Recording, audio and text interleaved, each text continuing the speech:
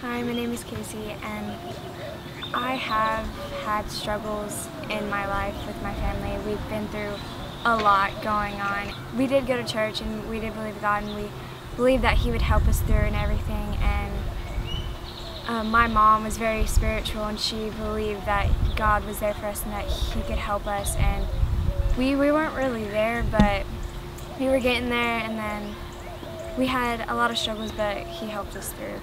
My mom, she she got into this Visalis stuff and she she became more spiritual and she became more upbeat and happy and she she wanted us to be happy and she wanted us to believe in God and believe that he could save us. And I I didn't really think that was going to happen but she brought us to church and I was I thought about yeah he's been there for us a lot because we have struggled and we we've gotten through it. And I, I do believe that He is our Savior.